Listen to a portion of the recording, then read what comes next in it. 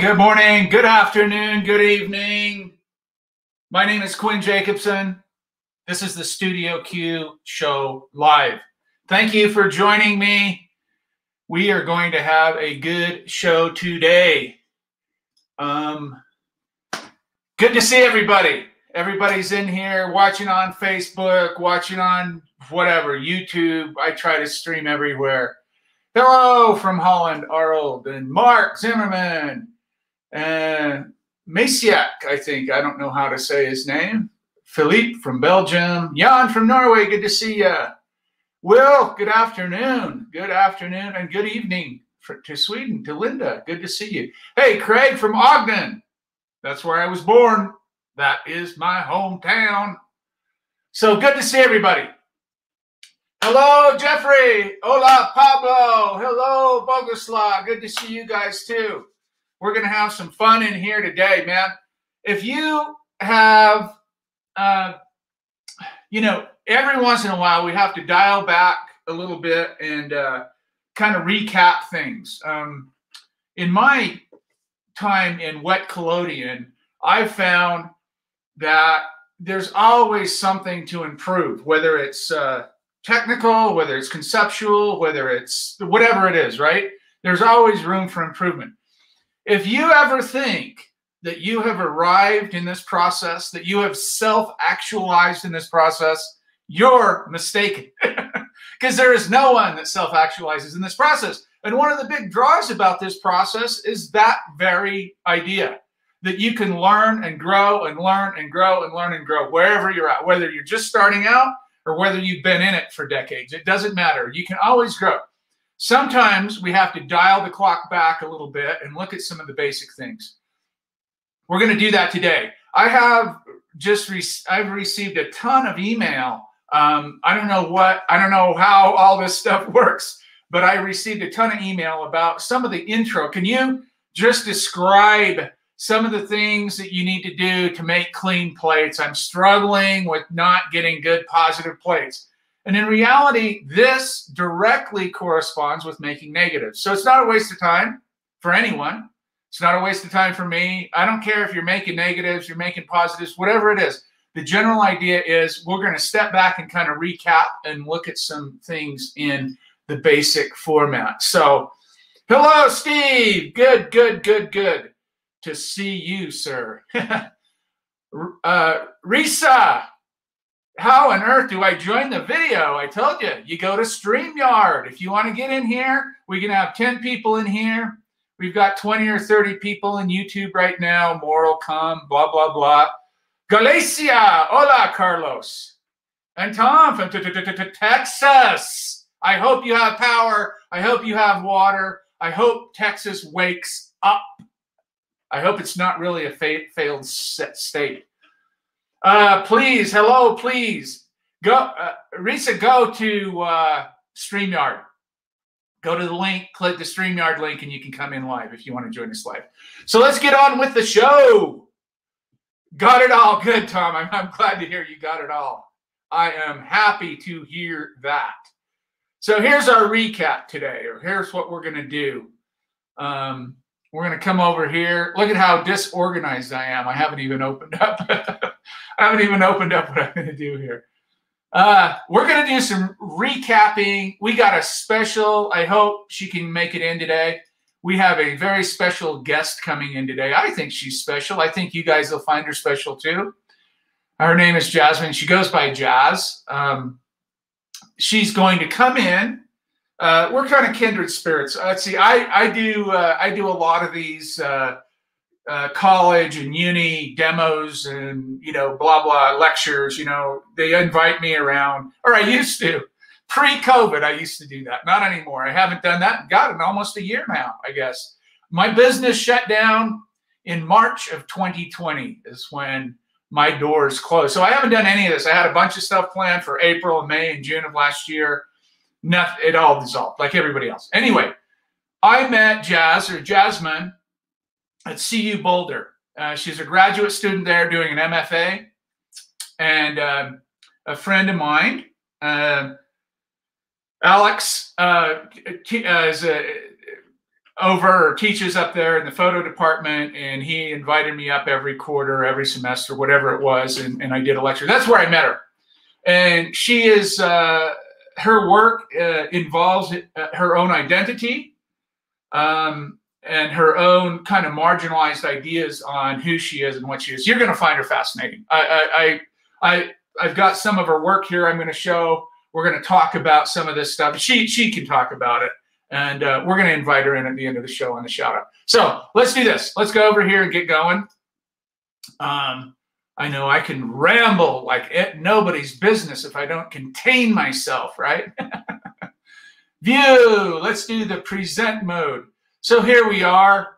We know everybody knows today is February 20th, and we know what's going on the show. And Jeffrey is here. He's gonna make. He's gonna show some nice plates today. I'm excited to hear about those.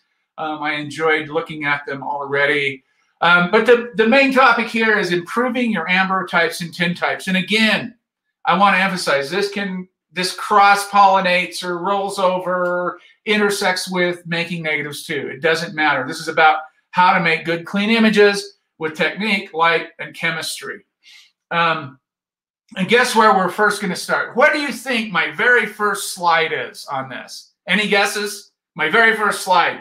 Chime in if you think you know what the first slide is here on how to make better images. Anybody? Anybody? Bueller? Bueller? Anybody want to type in? Hey, Paul from the UK. Yay, good, good, good, good. Um, nobody wants to guess on that. Development. Philippe says development. That's a good guess. Clean glass, Jeffrey. Good guess. Unfortunately, cleaning, Paul says, unfortunately, you're wrong. You're both wrong, or all three are wrong. What do you think? The first thing I'm going to talk about is because people are acting a fool out there, I say. I'm going to get preaching here, man. I've drank too much coffee. I'm on my third coffee here, right? So I'm going to get going now. No, in all honesty, safety is pri- a primary concern. These people, I I can barely open up social media anymore when I click through that stuff. It drives me absolutely mad because safety has got to be primary here, guys. If you're just starting in the process, if you've been working in it a long time, we need to make sure we keep those kinds of things in our heads. So we're dealing with dangerous chemicals and compounds, okay? This is not only a warning or a really good advice, but it's also for me legal stuff. Because here in the United States, I can be held somewhat responsible in a court of law in litigation if somebody goes out there and reads my stuff or watches my YouTube videos and then goes out and does something foolish and then they come back and say, hey, this dude blew his legs off or killed the neighbor's cat or, you know, blew his house up or burned this down or whatever it is. And he said he got his information from you. So come on in here. We want to talk to you in a court. So partially, primarily it's for your safety, but there's also some legal issues when you talk about this stuff here in the United States. So you gotta you gotta know that you're dealing with dangerous chemicals and compounds, explosions, fire, poisoning, exposure to these things, long term acute and chronic disease, whether it's liver damage or cancers, um, you know, th- there's all kinds of stuff that can happen here. So you need to understand and read the safety data sheets or this uh, material safety data, MSDS or SDS sheets on every single compound so you understand it.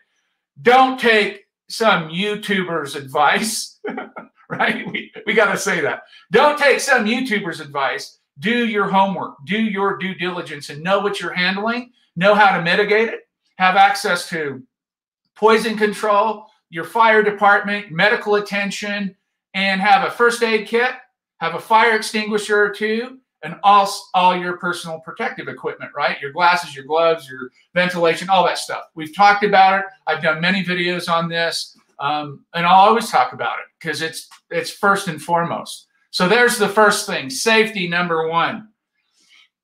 So let's talk about equipment. The first thing we have to do when you're making, if your objective is to make good, clean plates that are well exposed, developed properly, fixed, varnished, all that stuff, we have to start with the equipment. First things first in that order. because if your equipment is off, this is going to translate down the line to other problems. So the very first thing I tell people, if you want, if you're having problems with oyster stains and crap coming down your plate and big streaks and all kinds of, you see them all the time online. It's probably your plate holder. Anywhere your plate touches or rests on a holder, you need to Minwax or polyurethane or cover that up and seal it. So between each plate, you can wipe that out and, and make it clean. Wipe all that silt-free silver out of there, right? All that drippy gravity silver. Um, I like to use the polyurethane. You can use your shellac, you can use your gum sandarac varnish, you can use whatever you want. You're probably going to have to do that once a month if you use those products. If you use a product like this, a more modern chemical-based product, seal it up, let it off gas and dry and cure for a day or two before you start shooting plate, making plates. But that will last. I've done my plate holders and inserts and they've lasted for years. Um, so the next thing you want to do after your plate holder, and, and this is assuming all your equipment's functional, right? All your mechanics are, are functional, your, you know, your rise and fall, your tilt, your swing, your focus, all that stuff on your camera is legitimate, right? These are some of the things that I see come into email over the years or come in through my email and question. Bellows, check for leaks. Take your, put a, put a plate holder on the back, take the lens board off your camera, put a dark cloth around, and face uh, and have some light there and cover your head up and look inside the bellows, extend them out, look inside the bellows, let your eyes adjust for a couple of minutes and see if you see any pinholes or leaks. You got to check your bellows. If you have an old used camera, you know, a lot of times these things are really, really subtle. There's a tiny couple of tiny little pinholes that's just fogging the plate up just enough to throw you off and you're messing around with your chemistry and you're trying to figure this out and you can't check your bellows.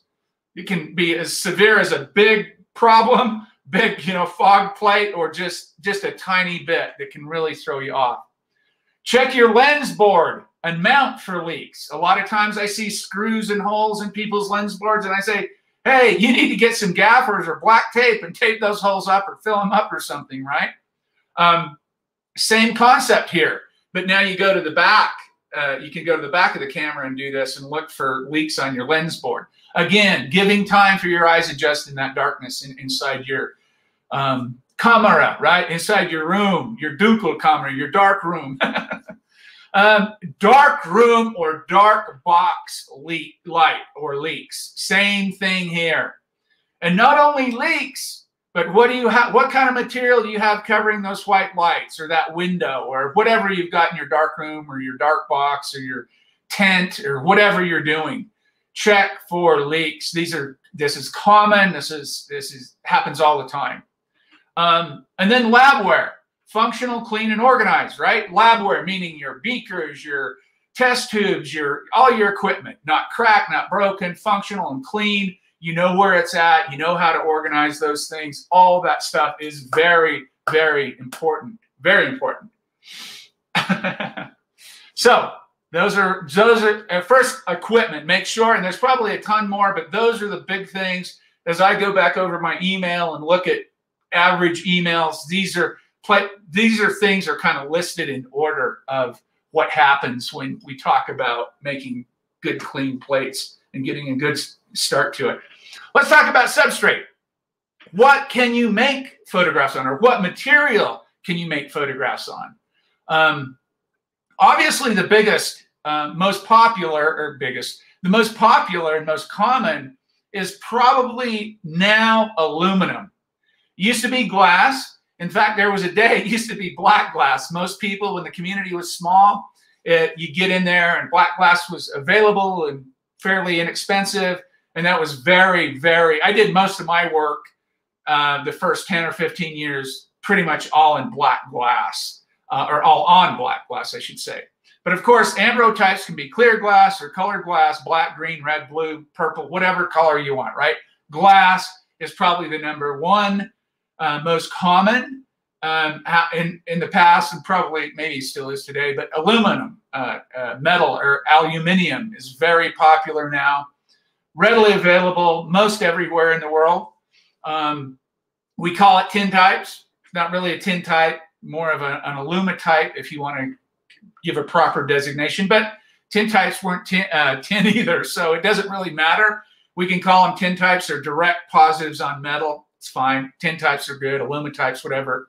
Sometimes, though, when you're showing your work or selling your work or presenting your work somehow, people want to know what the material is that you're using, just as an overall spectrum. So and then we have the original ferrotypes or tin types. Those are steel plates covered in asphaltum and baked, right? If you have my book, chapter seven is substrate. So I go over all these in much, much more detail. Um, but the original ferrotypes, not many, not many people are making them anymore today, unfortunately. That's kind of sad. Um, but at least um, it's available if you want to do it. And, and they're beautiful. They rank right up there with the black glass to my mind. Um, the uh, ferrotypes, the real ferrotypes, baked asphaltum steel sheets. Plexotypes or plastic or plexiglass sheets. Um, I started using those in Europe, uh, black or clear. You can make negatives. But man, when you hold a plastic photograph, it's really weird. The, the whole feeling of that plastic material is strange.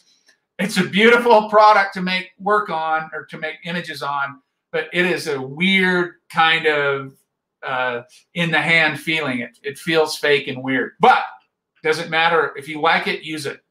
And then you can also make uh, images on stainless steel. Now, why is this list so constricted or so limited? It's simply for the fact that silver nitrate does not get along with most materials. So it's not that you can't just put anything in your silver, cover it with collodion, put it in your silver nitrate and make an image on it you can't do that. I mean, you can, but you're going to have problems with your silver bath for sure if you do that. There are other ways you can sensitize different materials. If you want to put salted collodion on something and then sensitize it with silver, it can be a hassle, it can be expensive, it can be frustrating. But if it's something you want to do, they're not just restricted to dunk, pour and dump like these these uh, this material is. So, oh, hello, Jean your friend Jean from the east coast of France. Good to see you, brother. Hey, John. Good morning, John. Mistakes examples. Those are good. Those are good. Uh, those are good responses to my my deal. So Pablo says, could the same asphalt paint be used for making ferrotypes? Yes, yes, yes, yes, yes. The the the actual, uh, if you're meaning Pablo, if you mean in the book on ch in chapter seven, that actual what I call ferrotype batter is for baking ferrotypes we turn it around and we say we can actually use it to back uh, glass ambrotypes as well too. So that's a kind of a secondary use of it. But the primary use in my book is for making the ferrotypes. And they are absolutely gorgeous. Like I said, to my mind, they rank right up there in quality with black glass because the sheeny, how shiny they are, the, the reflective quality, all that stuff is that's that's just beautiful for positives. Jennifer says, is one of the if one was to use stainless steel, you'd still need to coat it with asphaltum first, same step. No, nope. Put it right on the stainless steel and put it in your silver bath and make your image. Yeah. Um, stainless steel is weird. I've only done one of them. Um, the, the, this material, that's what I, where I was going. I'm glad you brought that up, Jeffrey. This material is not reactive for the most part with silver nitrate. That's why you can pour a plate on this material, throw it in your silver bath, and your silver silver bath will still function and work. If you did that with uh, pour a piece of collodion on a piece of copper and throw it in your silver bath for two or five minutes, your silver bath is thin. it's complete. It's done. So that's what I say there at the bottom. It's true you can make wet collodion images on anything you can sensitize with silver. The problem is that most material will kill, meaning put your silver bath out of commission um, there are other ways to sensitize surfaces, but there needs to be a good reason for doing it. It can be expensive and it can be a big hassle and blah, blah, blah. I've tried it on wood. I've tried it on different uh, metal surfaces. Um, I've tried it on all kinds of different things, but it's just, you know, it's novel. It's fun to try if you just want to kind of experiment, but you'd have to have a really good use, for me anyway, to, to use something other than the material we're, we're using. And of course, negatives have to be made on something clear. I just just I'm throwing it out there. negatives have to be on clear glass or clear plastic or something. Um, I've done one on Dibond. What's pretty? Yes, that's that. There you go. That I believe that's aluminum as well, if I'm not mistaken, right, Jeffrey? I, yes, it should you should put that in the the listing too. Dibond is aluminum, so it it translate there. Um, clean glass formula. What is PPP? It's per, personal protective equipment, glasses, uh, goggles, gloves, respirator, moon suit, uh, whatever you want to wear. You know, whatever you're, whatever you need to be, feel comfortable. That's what uh, that's what this is. Um, I think I've heard somebody else do uh, plates on Dibond as well too, Jeffrey. Um, I don't know why I, I I don't know why I didn't think of that, but anyway. Um, hello, Oliver from Germany. Maureen, good to see you from Boston. Good to see you. I've used glass mirrors before, an interesting effect. Yes, um, plexi gets really sticky after varnishing. Uh, plexi, yeah, it does exactly. It does, and you can't really you can't use heat on it. You have to use a hair dryer on the varnish, and then you throw dust up in the air. Blah blah blah. Mark, you bring up a good point. I did not put front surface mirror on this list because it's pretty much like glass, right? It's inert. And front sur- what is front surface mirror? FSM. You can read in my book, chapter seven, I go over all that. Front surface mirror is kind of a novel thing. It's what's in your DSLR, your SLR, that little mirror that you, you see through the prism that pops up when you make your photo, at least 35 millimeter, or whatever. Um, that doesn't have any glass on it. It's pure mirror, right? So there's no glass surface over it. You can pour, it's very expensive. You can pour collodion on it, do a very, very underexposed positive, and and I call them faux daguerreotypes. They look like daguerreotypes. I show them to people that come to workshops. You can, I mean, they're just novel. I don't know what you'd use them for other than just there's another material you can make images on, direct direct positives, and I use normal mirrors for my MFA thesis exhibit. Yeah, yeah, normal mirrors too. Front surface mirrors are a little bit better if you want that direct connection with the image, the silver. If you have uh, regular mirrors, you have that little that layer of glass over it, which can be interesting too, right? It's kind of like water, kind of like looking through a, a backed ambro glass, clear glass ambrotype. Um, yeah, conceptual choice, vanity, etc. Perfect, perfect. Mirror's a great metaphor. Um, I think it was uh, Nan Goldin that says, "I'll be your mirror." It's a it's a great concept in photography. Uh, so, having said the substrate, or talk about the substrates briefly, let's talk about the preparation of those. So the glass. I was just talking to Samuel this morning in Germany, or this afternoon if you're in Germany. Um, about cleaning plates, cleaning glass plates. I keep my stuff really simple calcium carbonate, alcohol, and distilled water. And I, I have to say, I, I, I, have no failures on my glass plates. Although most of the time I albuminize them because I'm making negatives. But even if I'm making clear glass positives or other types of uh, positives on glass, the, the my method of cleaning and the materials I use suffice just great. They, they work perfectly for me. I don't have any lifting or peeling at all. Um, the metal, most aluminum is what we call peel and pour, meaning you peel the plastic layer off, you pour the, the collodion on, and you sensitize it. Um, plastic would be the same concept. Plexiglass, you peel the plastic layer off. The only problem that you have with that is when you peel that off, if you're in a dry area like me, you'll you'll attract or create static electricity and you can pull little pieces of dust and crap out of the air onto the plate. So watch that as a as a cautionary note. Um, so yeah, that the idea here is their basic cleaning. I, I say this: the KISS, K-I-S-S, keep it simple, sucker or stupid or whatever it is, right? I, I don't know the saying. Keep it simple.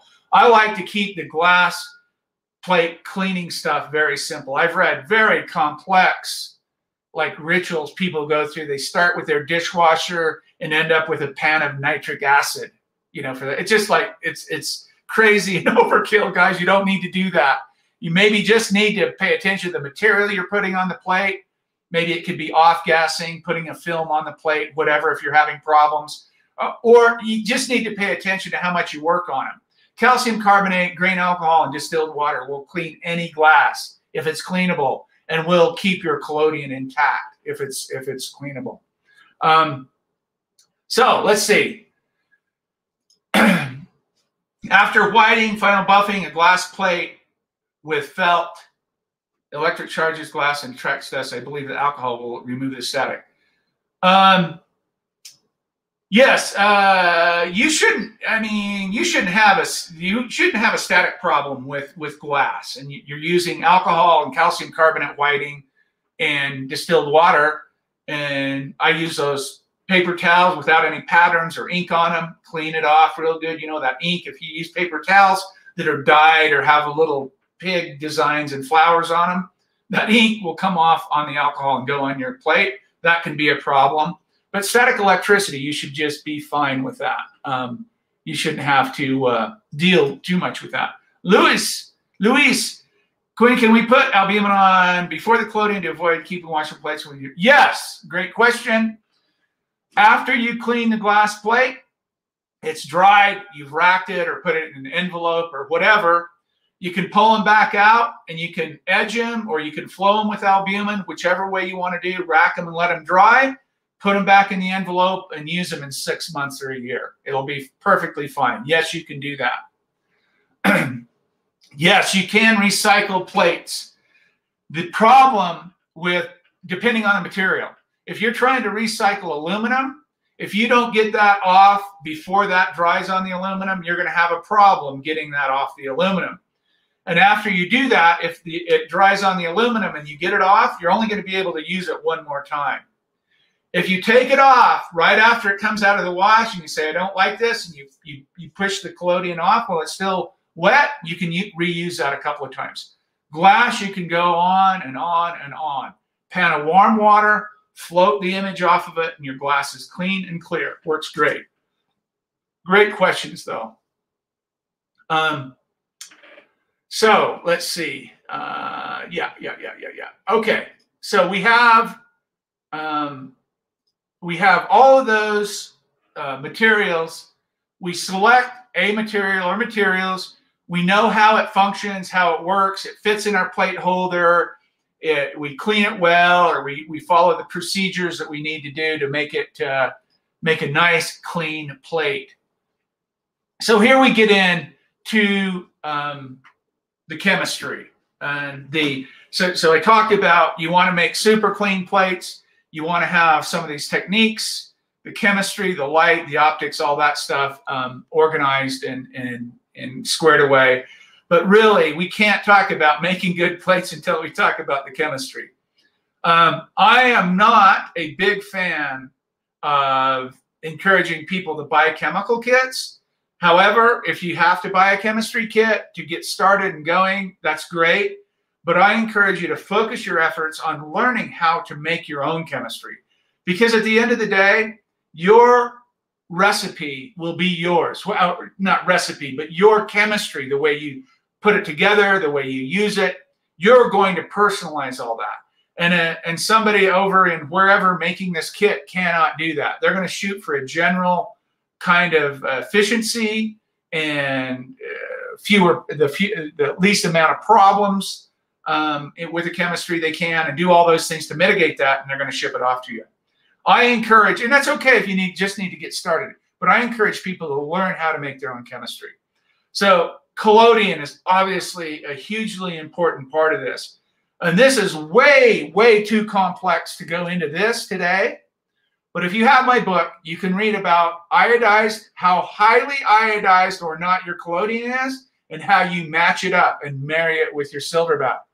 This is what we're talking about here. The little illustration that I have on this slide, I'm showing the silver bath on the left in the gray circle, and then how iodized the collodion is. So your first brand new made batch of collodion, when you first make it, is, is over here. Um, in the uh, very light. It might even be almost clear.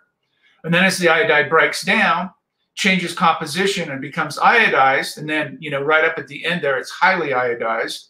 Um, you have to adjust your pH in your silver bath to accommodate that. Okay, so a big part of this goes way beyond cleaning out the plate holder and cleaning your glass well. You need to know where your collodion is and where your silver bath is to make that marriage happen. The technique part of it, or how you do it, is, is really quite simple. People come to workshops and they say, oh man, I practice with, you know, cream and milk and pouring on the plates and trying to figure that out. And I said, well, you just wasted a bunch of cream and milk because you don't have to do that. This is very simple to do. Covering plates with collodion is probably the simplest thing you can do in the process. The development technique, and we're going to talk about that here in a minute, is the most difficult. No doubt about it.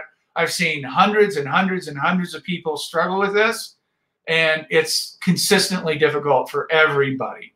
Flowing the plate is simple. There's a couple of couple of different methods. I'm going to list three here. Waiter tray, you hold the you hold the plate like you're serving coffee or a meal. Pour it, move it around, drain it off. Pinching or the corner, you, you kind of hold it up in the corner like this. The reason I don't like that is you come around your thumb, you have to leave kind of a hoop a hoopy do there, right? And that gives you a, a chance for a fish flat and, and peeling your collodion off. And then suction cup. Put a suction cup on the bottom of the plate, hold it, pour it. It works great. I use I do that for the big 40 by 50 or 16, 20 um, inch plates. Suction cup, pitching, waiter tray. I use the waiter tray and the section cut for mammoth plates. That's that's kind of my thing. You you your mileage may vary.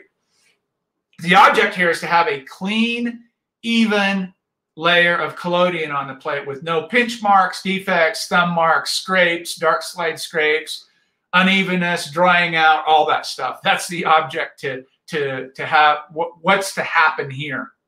When to drop the plate in the silver bath. Very important. You should never drop the plate too early or too soon. Skinning over is a term we use to describe when the plate is ready to drop. So when you have your plate, you pour collodion on it, you drain it off in your drain bottle, you pick it up and you start, you pinch the corner of it. Once your fingerprint shows up in that corner and it it kind of dulls down the surface, kind of dulls over, we call that skinning over. Um, in English, like a pudding, if you make a pudding and it's real liquid at first and then it skins over and you got that skin on the top of that bowl of pudding, that's what we're looking for. Not as extreme, but as an idea. What happens if you drop that plate too early? If you pour a plate, drain it, and you drop that in your silver bath too early before allowing it to skin over, your bath is going to be just absolutely inundated with solvents, ether, and alcohol. It won't be too soon after that that you're going to start getting solvent striations. You're going to get model marks. You're going to your images are going to be flat. That solvent, while you're always going to have that, even skinning over and all that, that solvent, putting it in there too early is going to really speed that up, and, and you're going to pay a price for that. Um, and how do you fix that? You sun it, air it, and let those solvents evaporate out of that, right? So drop it too early, solvent problem. What happens if you wait and wait? Oh, I don't know. I should wait longer. I should wait longer. And you drop it in the silver bath. You start drying in from the edges. You, your plate will start drying from the edges. It's really easy to see it looks almost like it's crumbly and flaky and it'll come right off. That's drying in, that's, that's, you're waiting too long from the pour to the silver bath. People mistake all the time. Oh, my plate's drying out because I went too long before I could get back and de to develop it. Your plate necessarily doesn't dry out that way. Your plate dries out between the pour and the silver bath, not the silver bath and development. Usually you, and especially in cool weather, you have several minutes. Pouring to the silver bath, you don't have several minutes. You have 30 seconds, a minute, a minute and a half, depending on your weather, your temperature, your humidity, and all that. That's why we test it, right? We test it to make sure it's skinned over. So that's that's the basic idea of that. If you want to know more about highly iodized, slightly iodized baths and uh, or collodion and silver bath, um, read about that's in that's in chapter four or five of my book there you can read about that too too uh, complicated to go into right now. Um, let's go let's go on to this. Uh, let's see. Luis what the, what's the advantage of using albumin or not on an ambrotype the advantage Luis, is, is if you're having problems, uh, like I was talking to Samuel this morning about, if you're having problems cleaning that glass or you're having problems with your, your collodion lifting in the wash with that particular glass uh, for positives, edging with a with a dilute albumin solution will keep that collodion tacked down and you won't have that lifting and peeling. That's the big advantage. And you can do the whole plate. If you want to albuminize the whole plate, do it. I just usually edge the plate, tack it down, and it's good to go. But great question. Yeah, that's the advantage. If you're having plates peel constantly or lift off the uh, material, you need to edge that. Alumitypes will not do that. Plexitypes will not do that. There's certain materials that you don't have to concern yourself with lifting or peeling. This is primarily glass we're talking about. John, looking forward to making my own collodion shortly. Awesome. That's great. I'm using strobe for the most part. Is there a fastest recipe for that application? Well, we, have talked about this quite a bit um, as far as ISO speed goes. Um, you're using strobe, so you don't want to have to pop off, you know, 6,000 watts in somebody's eyes three or four times. So he's looking for something with a little more speed. The fastest, the fastest you're going to get um, will be a slightly iodized collodion. So if you look at that previous slide, you're going to look down in the bottom left of that little illustration. When you first mix your collodion, you'd probably want to use a Ki, a potassium iodide, and a CDBr or a cadmium bromide for the iodide and bromide salts. So that's going to give you some speed. That's going to give you ISO 2 or 3 maybe when it's first made. Because the K salts, the potassium salts, are not soluble in solvents, that is not going to break down and become iodized or highly iodized for a very long time. You'll have your speed, but every advantage has a disadvantage. And that disadvantage is you won't have the tonal range or as much if you used an NH4i or an ammonium iodide salt in there. That's going to break down faster and give you more tonal range. But I would advise maybe maybe go with a Ki um, ammonium or potassium iodide. I'm so ammonium iodide center, right? Um, that will give you the fastest. And I'm glad you put that in quotes because we're talking about two or three ISO. And then as it breaks down, we'll get down below one, ISO one. As it as it becomes more iodized, it slows down in speed. So, how you should really ideally have two separate silver baths, one high, one low. Craig, you got it. I, I in chapter 10 of my book, I talk about multiple baths. I have six or seven baths, right? Not that I need them, but just over time and the big tanks, a little tank, whatever. I always have a lot of baths that are ready to go. I have had two baths fail, baths fail in a row. So I'm glad I had a third bath. But um, yes, I recommend people have two, a working bath and a standby bath. That way, if you're in the middle of something and your bath goes out, fill the jug up, take it out of your tank, fill it up, set it aside, put your new bath in, and keep going. Then you can work on that later. So two baths are better than one, that's for sure, because you're out of you're out of commission if you don't. So very good point, Craig. Thank you for bringing that up. What is the reason when I add iodizer to collodion that it immediately turns dark red? In the beginning, when I started a few years ago, yes, RL, that is a very good question, a chemical question, obviously. What happens and I bet you, and, and, tell me in the comments here, I bet you you're using ammonium iodide, right? NH4i, not Ki, but NH4i. I bet you're using that. And the reason is, as that powder becomes, eh, when it's exposed to the air and oxidizes, it starts breaking down. and It starts turning yellow. It's a white powder, starts turning yellow. It'll go really brown if you let it go too long.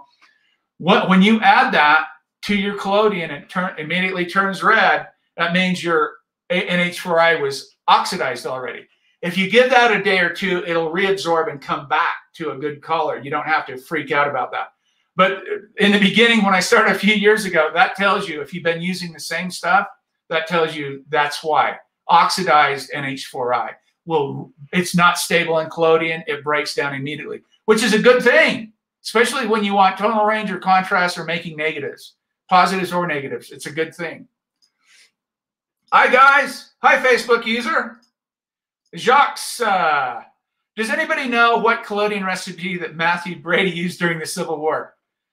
Mathew Brady was basically blind and he didn't make many photographs at all. He took credit for Gardner and O'Sullivan and all those greats, man. These are just absolutely wonderful uh, technicians and photographers. Um, most of the time, most of the time, photographers of the 19th century, especially when you're talking in this context, made negatives. Making negatives tells you what recipe they used right off the bat. 99% of the time, NH4I, CDBR, and sometimes CDI. Just depends. You guys can translate that. Yes, yes, he used. Yeah, that's what I said, Arnold. Thank, thank you for uh, uh, clarifying that. No problem. That's why we're here, man. We're we're here to try to answer those questions.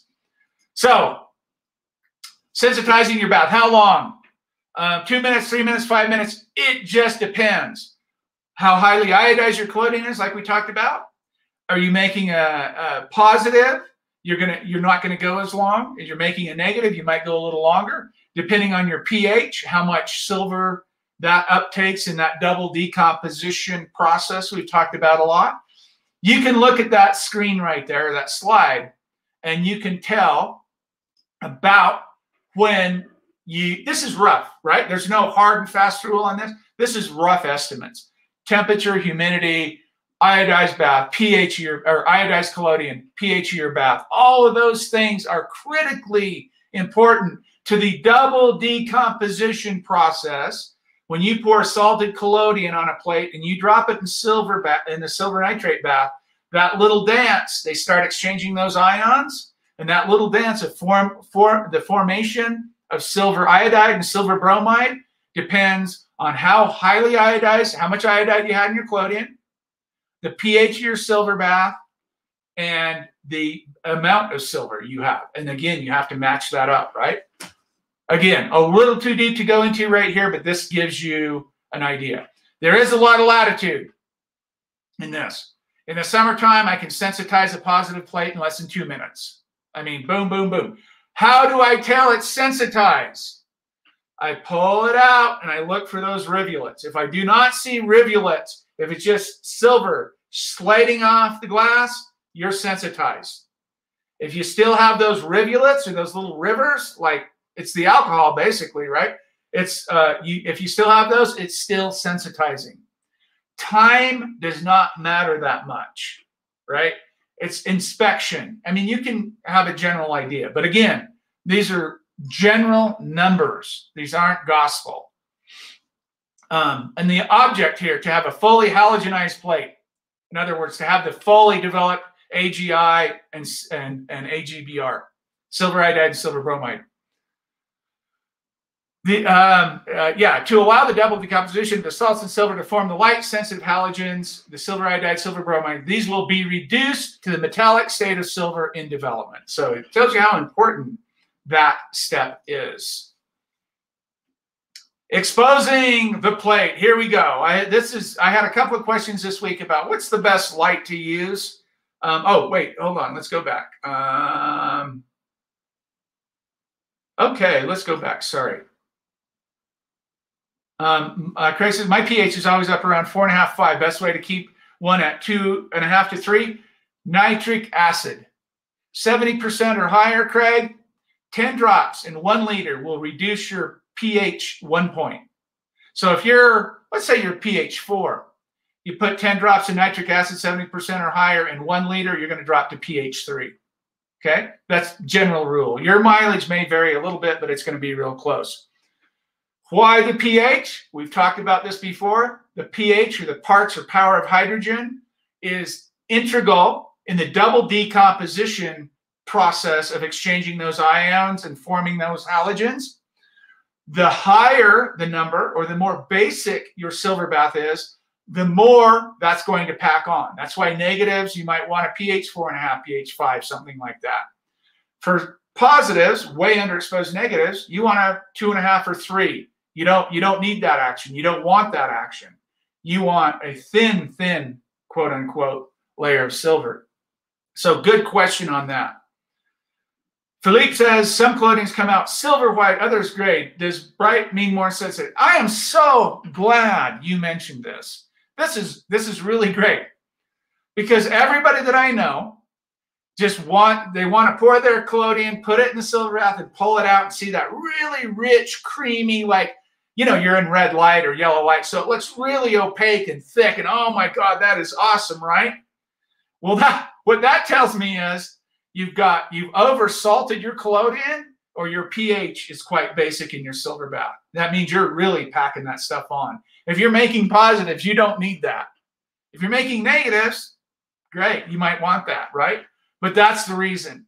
Sometimes, and as, as you work a bath, as you work a, a collodion in a bath, you'll see this getting lighter and lighter. It's, oh, it's not so creamy like it was last week or two weeks ago. Oh, it's got a a blue kind of blue tint to it. Oh, it looks thin. Oh, you know, all that kind of stuff. That is the salt balance in your collodion and the pH in your silver bath. Period. That's that's how that works. Facebook user using albumin covered or edge glass plates. People steam the surface to get collodion, good collodion flow. Do you flow the cotton stick edge too, or just the albumin line? There would be no pre-steam option out in the field. Very good. Yes, um, and I'm sorry I don't know who this is. Facebook user, I don't know. They, they don't translate the names over. Um, what he's what he's talking about is the idea of steaming the glass plate before you flow the collodion or the albumin on. If you're going to albuminize the whole plate, you need to steam that. And what that layer of water does is it allows the albumin to flow over the plate without forming puddles and starting and stopping, kind of like if you had a developer sweeps and you needed to add alcohol to your developer. Um, no, to answer your question, you do not need to steam when you're taking a Q-tip and edging the plate. That's one of the reasons I like just to edge, especially for positives. You just don't need that, right? So, but a very good, very good question on there. Um, can you oversensitize? Um, yes, you can. And, and in fact, you don't want just for the sake of your silver bath and your image, that particular plate, you just don't want to do that. If you go over a little bit, it's not going to be that big a deal, but you can run into some problems if you go too long. 10 drops per liter. Yes, sir. And remember, that's 70% or higher nitric acid. That not 10% nitric acid or 3%. That's 70% or higher. Ah, Steve, how does one raise the pH in the silver bath? If you want, if you really want to raise your pH, you can do it with bicarbonate, by baking soda, right? Baking soda, um, ammonia, um, anything that will neutralize or bring that raise, or make it more alkaline or basic. Um, I probably would let that naturally happen. Um, if you're at four, usually when you make your initial silver bath, your pH is going to be four or around four. If you work that for a while and you don't do anything to it, and you don't add nitric acid to, to pop it up for positives, you're going to get into four and a half and four seven five and pH five. You're going to go up rather than down. Your bath is never going to be become more acidic. It's always going to become more basic with use. Okay, so I'd probably let it go. Uh, I'd probably let it go naturally, but you can. Sodium bicarbonate works great if you want to change that up. It's Fareed. Hello, Fareed. Okay, good, good deal there you go. Or calcium, either one you prefer. That's a good, uh, good advice. Jeffrey says, does it matter if I happen to forget the plate in the silver bath for six or seven minutes? If you're making negatives, no, not at all. Um, in fact, uh, yeah, you probably go five minutes with negatives. And if it's cool out, probably not. No, not six or seven minutes. You won't, even even if it's hot out. Maybe if it's hot out, you might see some um, funky stuff happen, but I doubt it. It takes a lot to, to get that shot across and uh, screw yourself up. Exposing the plate. What's the best light? Well, let's be honest here. We all know what the best light is. It's natural light. It's sunlight. That's what the process was made for, right? What's the best kind of food to eat? Well, the cleanest, best organic stuff you can find, right, for your body.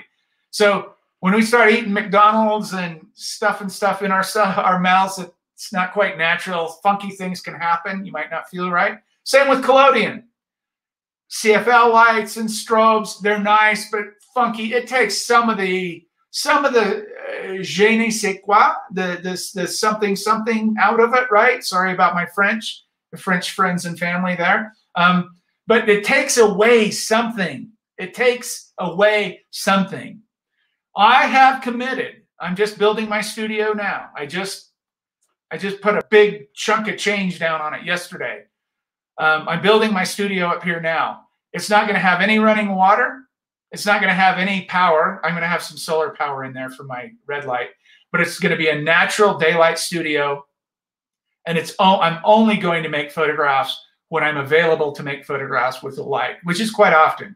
We get over 300 days of sunshine up here a year. So I do not, I've just committed. If people want to come and do a workshop with me, you know, in 2023 or whenever we start doing them again, um, it's going to be all natural light. I'm not going to use artificial light anymore. I not that I, I, I just don't. I don't know. Maybe it's my age. Maybe I'm getting old and grumpy, or I've got early onset grumpiness or something. I just don't like. I just don't like the the effects from artificial light as much as I. It, the sunlight is just so much better, right? I, I think, but your call. That's my personal opinion. But there there are many types of lights you can work with. I prefer natural sunlight. Strobes, I think John just talked about, he's going to use strobes. CFL is compact fluorescent lights. Those are very, very popular, 5,600 Kelvin daylight temperature. Um, LED, can get them in really high UV or medium UV, A and B. And then, of course, black light, which is absolutely almost pure UV, right? A and B. Um, a lot of times people will combine these artificial pieces together. I did that a lot. I've used strobe, I've used CFL and LED and black light in combination. I've done all kinds of things together. And you can make it work. This is just my personal opinion. I'm only going to use natural daylight from here on out. I know most people won't or can't, and they want to make photographs in the wintertime or they don't have a studio and all that stuff. So that's great. It's just know that everything after sunlight is artificial to the process, quote unquote. Um, the big thing is, is you're going to have massively different exposure times um, and and quality of light kind of thing. You have to relearn. If you've been working in your studio with compact fluorescent lights or studio strobes for three or four or five years, and then you go outside to make an image, you're going. It's going to change. You're going to say, "Oh my God, I don't. I don't know this process. What's going on here?" it's going to change dramatically. Um, so there's a big difference in the qual in the time, the quality of the light, and understanding the types of light. Um, the the biggest problem is people tend to overexpose and overdevelop. That's why you see all these flat white images online, bright, flat. They like they if they have contrast, all it is is black and white. There's no midtones. And if they don't have that, it's just all kind of a muddled plate. That's usually overexposure and overdevelopment. Um, and a lot of times they'll they'll underexpose a little bit, and then they'll try to push the development right to bring the image out, and then they develop all of the unexposed silver on the plate, creating that veiling or fog that you can wipe off with a cotton ball. That's that's a different scenario than actual overexposure and fogging and overexposure and overdevelopment. And as you know, uh, you can use an enlarger, positive image, use an enlarger and make uh, um, ambrotypes and tintypes. Um, let's see. Uh, see uh, about the albumin again. Okay, there's free. About the albumin, edged, no need of steam. But what a option is there is if the plate is fully covered? Um, I'm not sure I understand the question. If you're going to cover the entire plate with albumin, you need to get a, a little humidifier or steamer, steam that. Watch my video. You can watch the video. Um, I think it's chapter 11. You can watch me steam the plate and then pour the albumin on it, drain it off, and put it on the rack. There's no real difference. I mean, it, it just for negatives you get more density and all that stuff, but but you can do it either way, steaming or edging. I've edged mostly, to be honest with you. That's all I've, I've really needed. Oh, and one more thing about light. I just want to throw this out here so I don't get an email about it this week. Yes, you can make photographs at night. Yes, you can make photographs with tungsten light.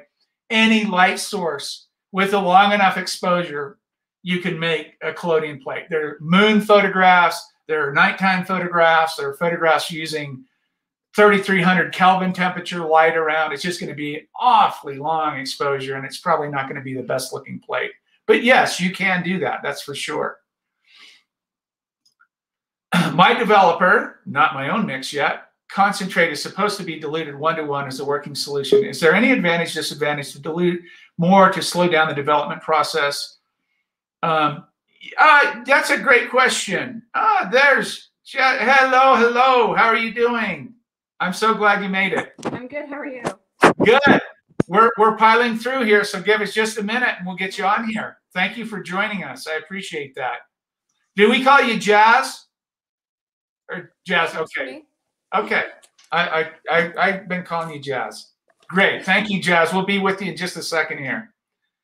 Without having a steaming option. Um,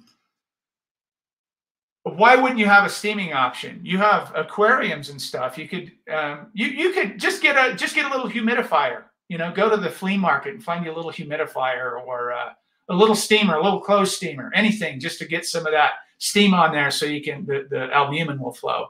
It's not not too big of a deal. Let's go back to John's.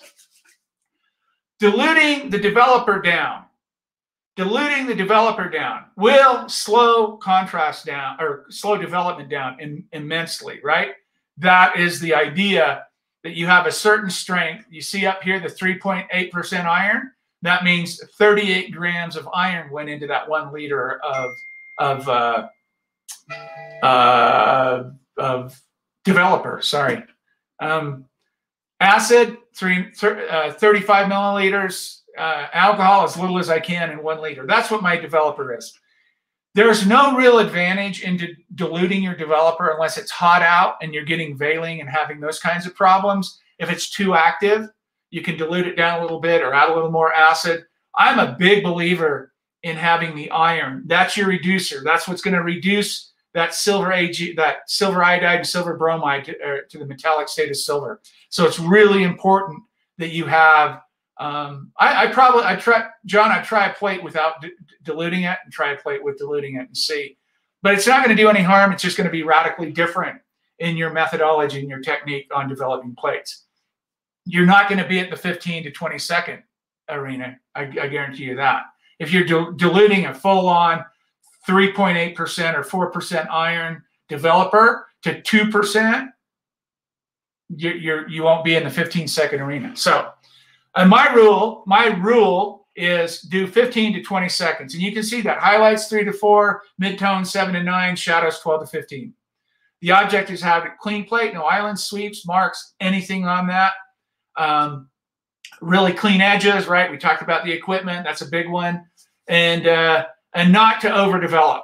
And that's what you'll have a ten- tendency to do. If you underexpose the image, pour the developer on, or have a weak solution or whatever, you'll tend to go too long, and then you then you develop the unexposed silver on the plate, and then yeah, you have a you have a, a problem there. Um, oh, out in the field, you do that before Farid. Do that before you go to the field.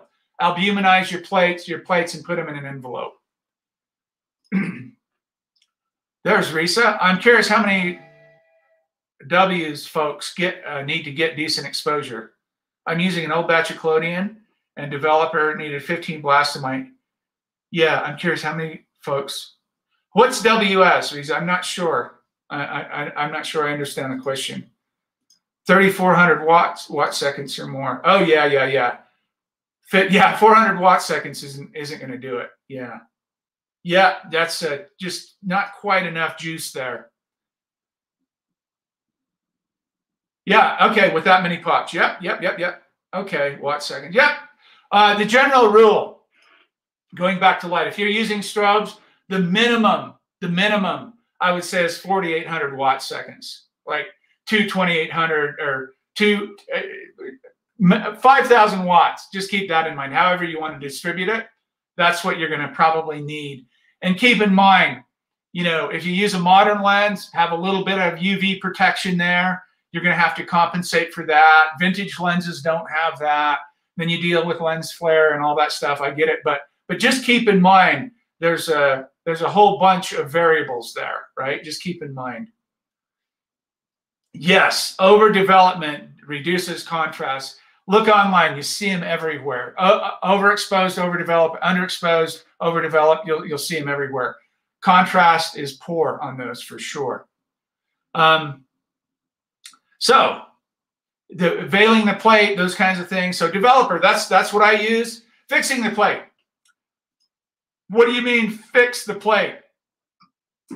Fixing the plate removes all the unexposed silver, all unexposed silver, and leaves the exposed silver there.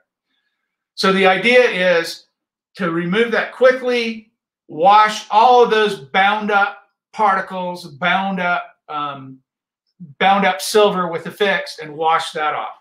The problem with using something other than KCN is, is going to be your wash times. And we're going to talk about that in just a minute. The most effective fix, potassium cyanide. Um, you can use sodium thiosulfate and ammonium thiosulfate. ammonium thiosulfate. How long have you been speaking English, Quinn? Uh, ammonium thiosulfate, sodium thiosulfate, or hypo or KCN. I prefer KCN. I do use sodium thiosulfate for prints, for fixed prints. Um, if you do use sodium thiosulfate, I recommend that you mix it in the 20 to 30% range. We'll talk about that in the fix. Exhausted fix. What do you mean exhausted fix? This means when you put a plate in and you're pulling off all the unexposed silver, that unexposed silver has to go somewhere, right? It goes into the fix. And that's what exhausts the fix. So for instance, if I'm using a tray of KCN and I process 10 plates through there and I have a little formula that tells me when my when that fix is exhausted, it's a 15 second cutoff, a total time of 30 seconds.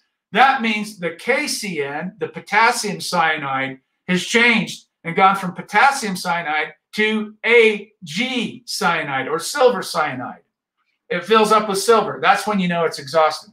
So when your fix stops working, you're not removing the unexposed silver. Guess what happens when you don't remove the unexposed silver on the plate? your plate turns dark, goes black in about a week or two.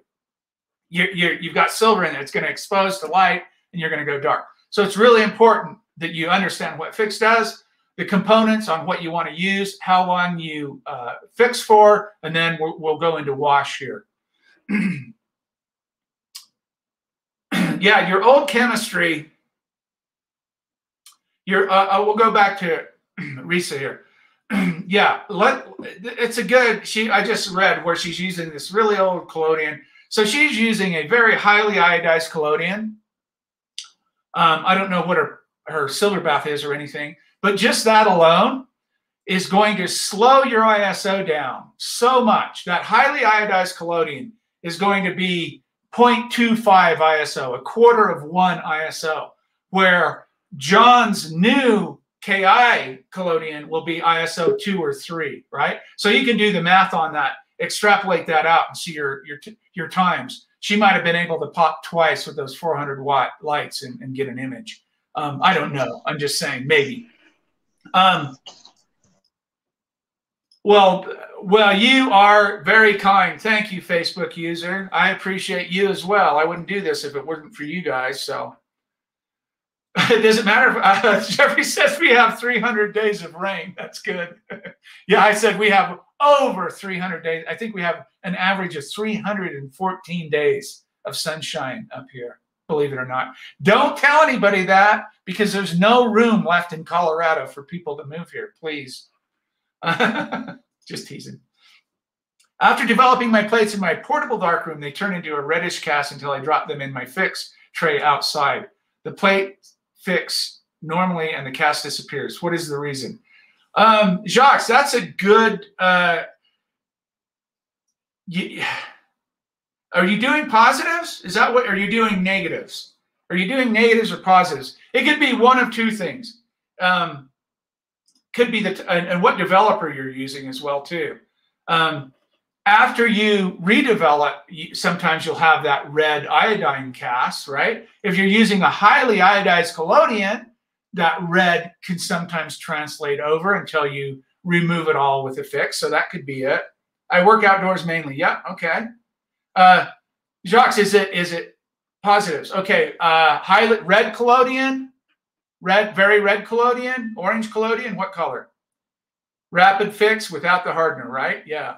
Uh, that that's another thing too. If you're using ammonium thiosulfate, aka rapid fix, without the hardener, we're not dealing with silver gelatin here your plates will be a reddish brown color actually it's a it's a nice color that fix produces a very very nice color. It really does. So at the end of the day you can use that um, similar to the way you, it's a liquid form but mix it and use it similar to the way you use hypo.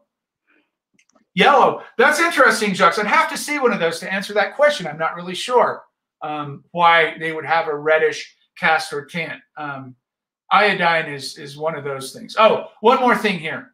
I, I talked about KCN, but let's talk about the 30 to 40% hypo or ammonium thiosulfate, meaning if you had sodium thiosulfate in crystal form, you'd add 300 or 400 grams to the liter. That'll give you a nice warm positive, right?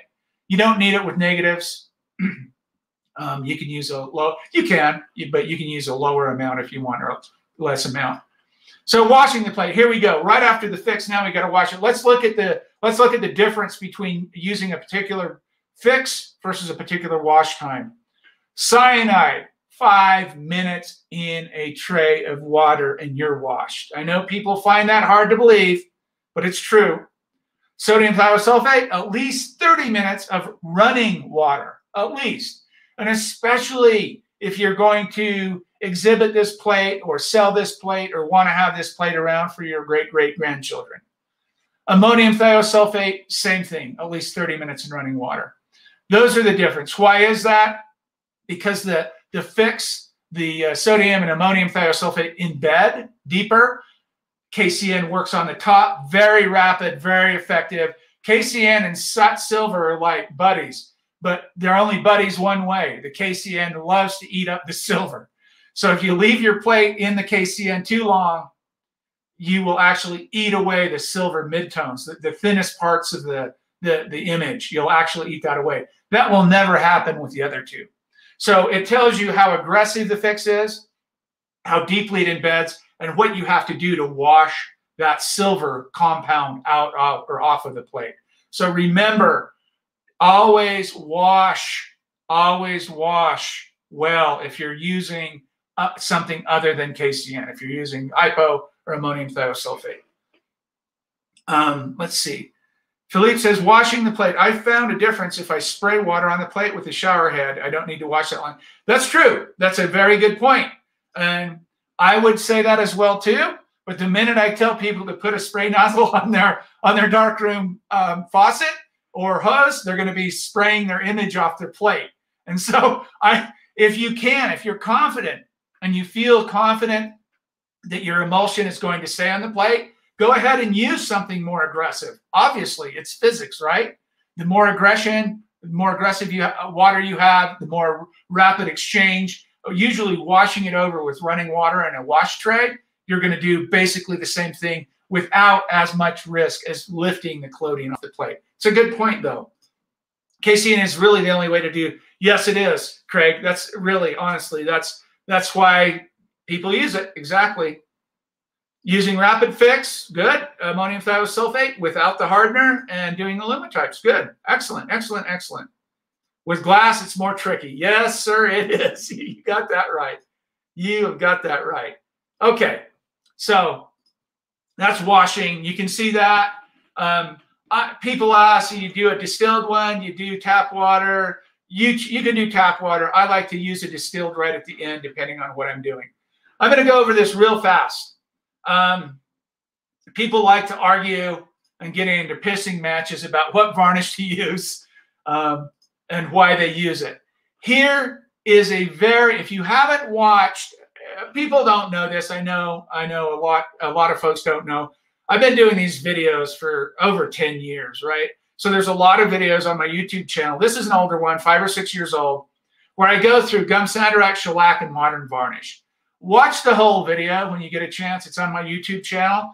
This will give you a good idea. I just want to go to the 31 minute mark here and show you the technique I use to varnish my plates, okay? So let's see if we can do this. Um, next. First, shellac. But we're going to start with uh, the um, var- uh, the gum sandarac varnish, and that's going to be this guy. who's that fat guy with So the long back hair? Of it, I'm going to write. I'm going to write gum sandarac, and on the back of that other one, I'll put. Um, that's that one. I'm trying to show you some of my methodology of when I'm doing experiments, one, what I look for. Modern varnish. We, we'll know what that is. Which is the acrylic varnish. So, okay. Before my camera gives out on me again, let's start with the gum sandarac. See what we can do there. I like to use the alcohol lamp or I also have this guy here. This is a catalytic heater, propane. Works really good, especially for large plates, no flame. But for these little plates, I'm just going to use the. I'm just going to use the small. Well, thank you, Jacques. It's probably my hair. Okay, so what I like to do is I like to heat up the plate. Although it's dry, I'm still going to heat it up. Now watch my technique here, guys. This is what I want to show it you. Heats really fast. It won't take much. And I'm also going to get my test tube of varnish ready here. Notice I use test tubes, not bottles. Which is just have to fiddle with this just a little bit. But that varnish, I like to keep it in the test tube, um, filtered and ready for use. I'm going to get that quite warm. I know you think crazy, man. This has got Mhm. alcohol in it. Be careful. You plate should. nice yeah. and hot. You notice I'm getting it fairly close to the the flame is looking up on the edges. I'll change my hand, uh, switch hands here so I can get the other end really good. Uh, nice and nice and toasty. I want to kind of get it a little bit over hot because I'm going to go back over it, uh, or after I'm going to do this with the varnish, I should say. Set the flame way away. I'm going to position it just like collodion. I'm going to have this the drain end, ed, edge or drain corner. Can talk there for a second. Nice and hot. Plate still really hot, but it'll dissipate quickly. Nice and level. There I was praying to And the just collodion like gods. collodion, Pour the varnish on. A nice puddle there. And I'm just going to go to each corner kind of let it roll around. Unlike collodion, you can let this roll back on itself over and over and over again. And then when I feel satisfied and I feel like um, it's soaked in well and looks good, I'm going to go ahead and tilt it like that. I'm not going to rock it. And since I want the, want the drip edge down there, get my flame back ready. Now I'm going to keep it tilted as I bring it up over Here's the catch. the flame, very high. Don't get it too close. Keep it tilted. The, the varnish is going to continue to the gra- gravity is going to pull that varnish down and continue to And the heat. The heat and the var- gravity. get it really hot. Get it really hot. Get it really hot, guys. as guys. quickly as you can. You're going to minimize your drip line and you're going to have a really super glossy, nice finish. That's right. it. The water's gone. The water's getting out of there. Got to get the water out. Glossy. images, Gum Sandarac is a great choice because it really brings back that healthy Contrast. if you will. And you'll see here. I'm just helping him out. He's Yeah, a little. He's stuttering a just little bit. now. Get a little bit closer. Don't have to worry about the alcohol catching on fire now. And when I start smelling that lavender oil, I know that I'm ready to. I'll let you guys see these, but this is a pretty good example. If I don't drop it here, pretty good example, still really hot. pretty good example of uh, um, gum sandarac varnish. There you go. That's in focus. I hope you can see that. Wonder how close I can get it. Still have it in focus. See that? No, no drip line really. So this is the uh, nine second gum sandarac. Okay. So wow, that was April of 14. Interesting. Okay. All right, that's what I wanted to show you. Um, let's go back here. Sorry. Um, I wanted to show you my technique. And the idea here is on varnishing, there's water in the alcohol. Water and gum sandarac hate each other. That's why um, some of the varnished varnished images aren't glossy. They're a little matte. Some of them, you know, they're they're nasty looking kind of thing. They have big drip lines on them. So I'm showing you that technique to clean that varnish job up. I've had more emails over the years about, oh my God, I had this perfect plate and everything was great. And then I went to varnish it and this happened. And this can be, it dissolved my image. Um, it's flat and nasty. It's got a blue haze on it. It's all, all kinds of stuff, right? So varnishing can be a real problem for people in, in this process because it's a technique driven thing and when you don't understand what you're doing, it's very difficult to. Uh, why can't I go? Oh, sorry. Um, it's a very difficult thing to um, get down if you don't understand what you're doing. Oh, I got to start my show again here. Sorry. Let me pull this back up. We're almost finished here. Uh, ba, ba, ba, ba, ba, ba, ba, ba, drive. So varnishing, I yeah, there, there's so many uh, people. I know people that that hate varnishing so bad because they've had a bad experience with it. So they leave their plates unvarnished and then they wonder why down the road um, they turn black.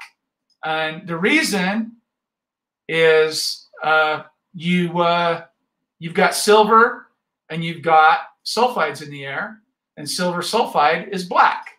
So if you don't varnish your plates, they will turn black at some point in time.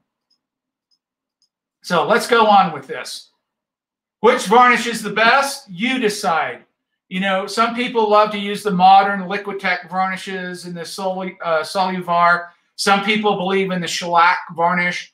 I've used gum sandarac for many, many years. It works great. That's my recipe there.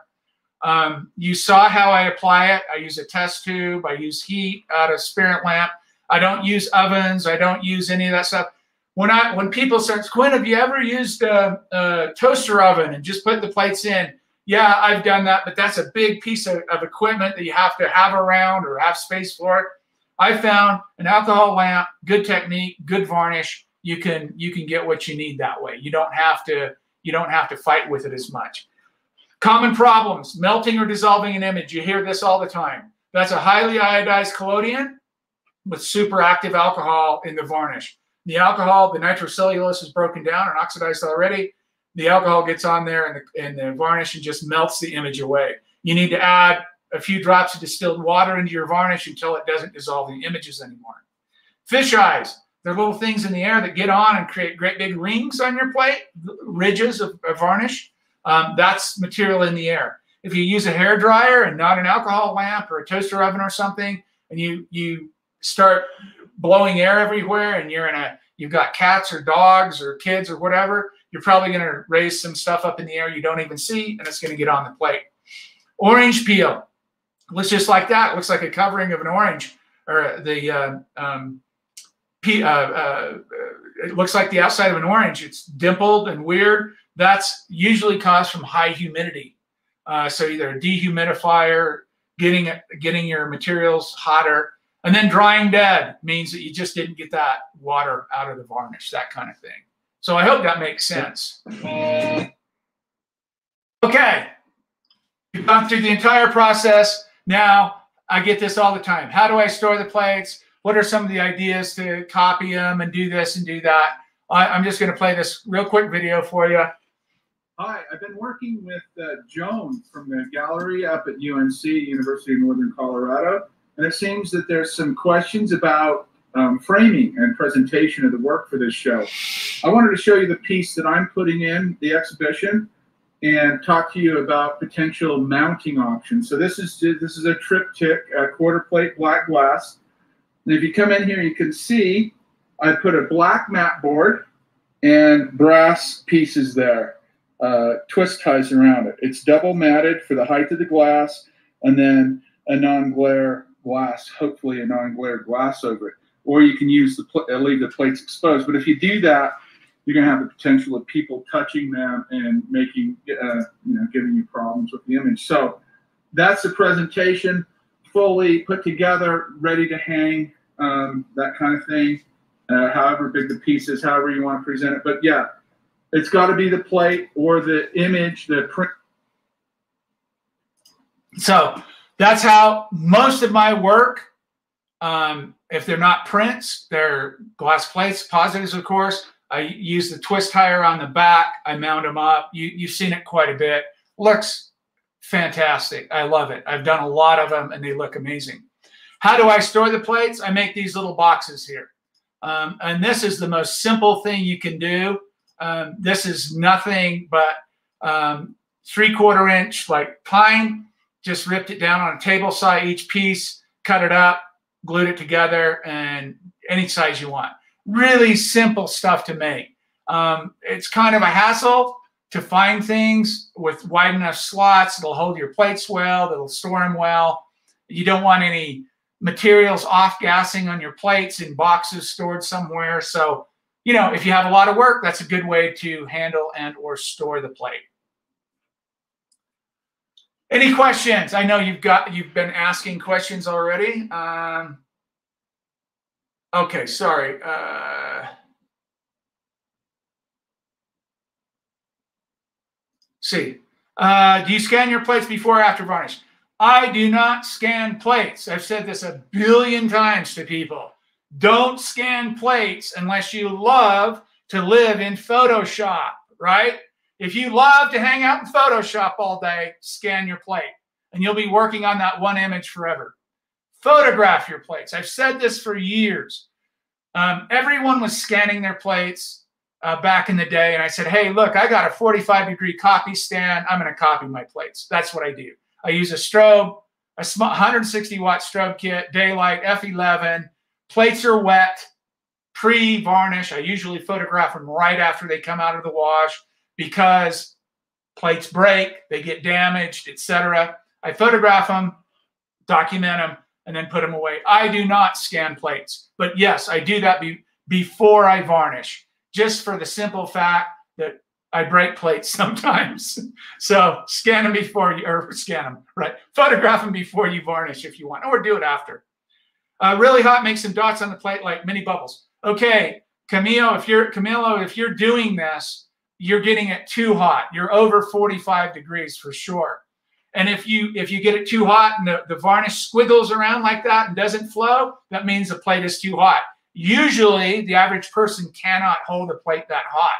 That's the indicator that your plate's too hot. If you can't hold it, you can't varnish it. Steve says one thing I've experienced is inverting the plate when drying to avoid catching dust. That's a great idea, Steve. That is a great idea. Wouldn't that be cool to not have uh, horizontal plate holders, but verticals that you stack them in face down. That's wow. I think we've made a breakthrough here. good one, Steve. I like that idea a lot. That's very good. Someone I know does use a toaster and it work as it is a workflow issue. Um, yeah, sure. I mean, if you want to pack around a toaster, they're great. I just I just don't want to pack around a toaster and supply um, power for it and all that stuff. But yeah, if you can do it, I mean, that's awesome. What about negs? Yes, I, I photograph my negs on a, I don't have a light box. I have a small, well, I don't know, it's 18 or 20 inches light uh, table. Uh, basically, it's thin. Turn it on, put the neg there, and same thing, I photograph it. Exactly right, Steve. I do exactly that. Yep.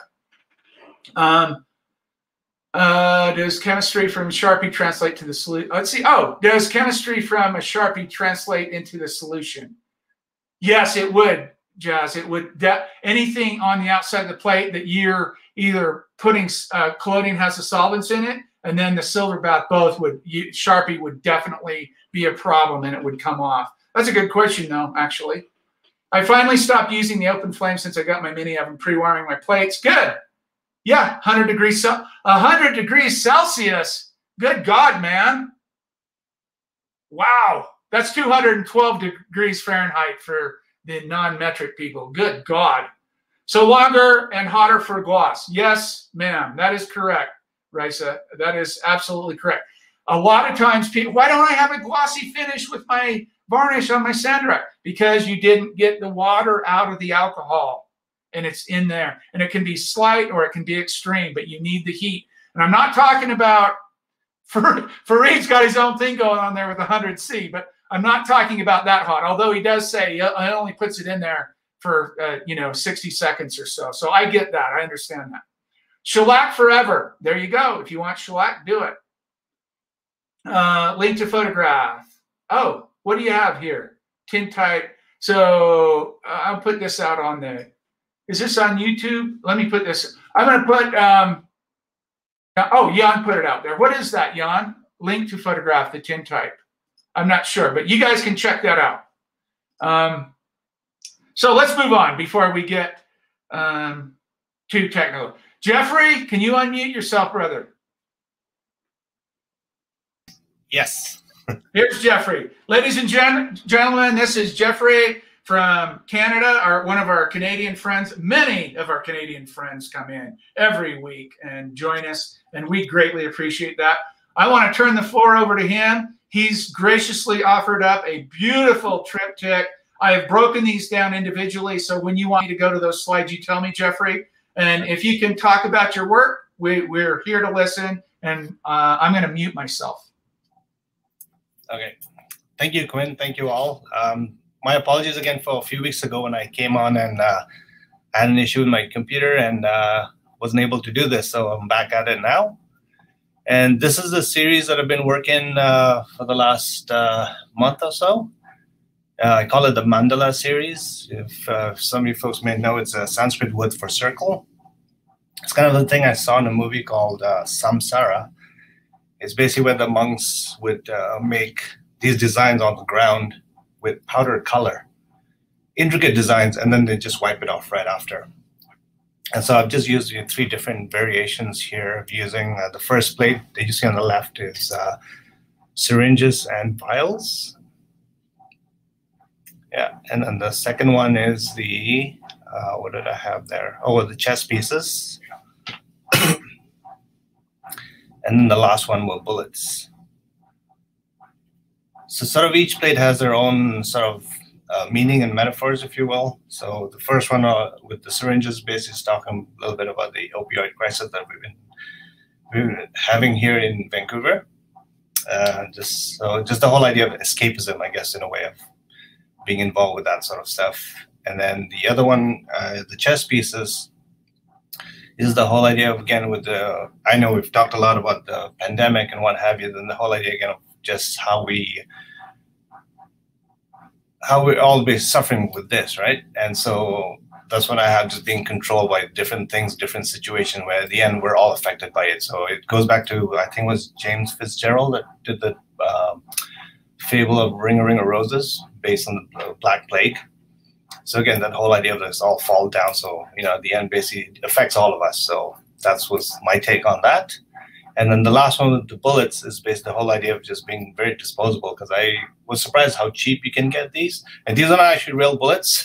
just to clarify, it's actually from one of my friends. He had a fashion thing with the bullet belts.